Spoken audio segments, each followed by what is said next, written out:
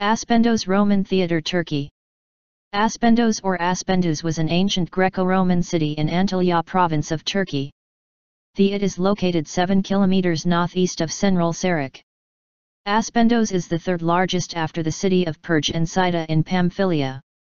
Presently, Aspendos is famous for its impressive Roman theatre, the best preserved in Asia Minor.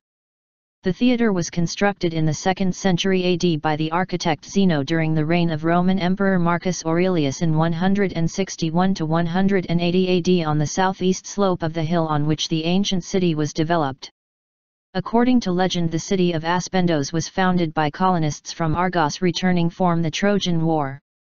The first confirmed reference is in Hittite writings of 800 BC. In the 5th and 4th centuries the city was one of the, the few in the region to mint silver coins.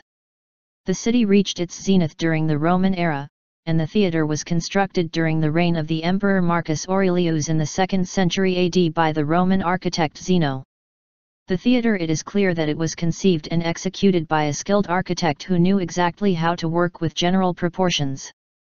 The overall width of the theatre is 96 meters, the width of the stage is half the width of the building that is 48 meters and the diameter of the orchestra is half the width of the stage that is 24 meters.